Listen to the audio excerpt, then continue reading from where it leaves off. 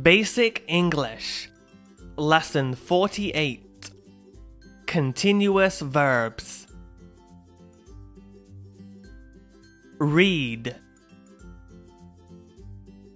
Write. Drink. Eat. Watch.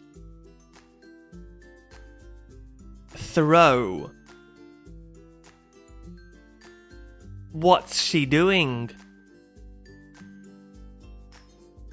She's reading. What's he doing? He's writing. What's she doing?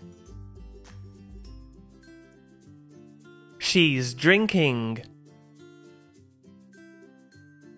What's she doing? She's eating. What's he doing? He's watching. What's he doing? He's throwing.